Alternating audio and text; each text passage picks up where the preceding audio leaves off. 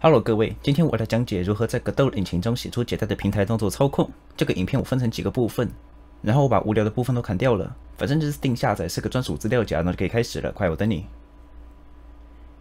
如果你看这个教学的时候版本跟我不一样，导致你没办法跟着做，别担心，课程全额退费给你。总之，第一件事情，因为我们要练习二 D 的操控，所以我们先新增那个二 D 的场景，然后存档。为了之后方便，先按一下执行，把你刚存的设成主场景。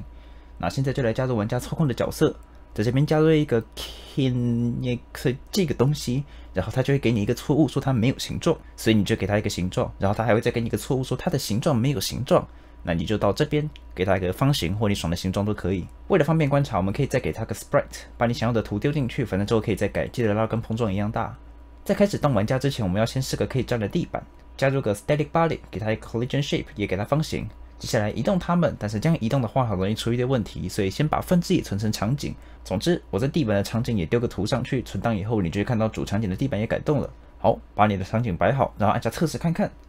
它当然不会动了，它又不知道你想做什么游戏，所以给你的玩家贴上一个 script，然后把这些东西抄上去。哇，你现在是游戏开发者了，把贴图换成种族歧视的要素，游戏就卖一百万套了。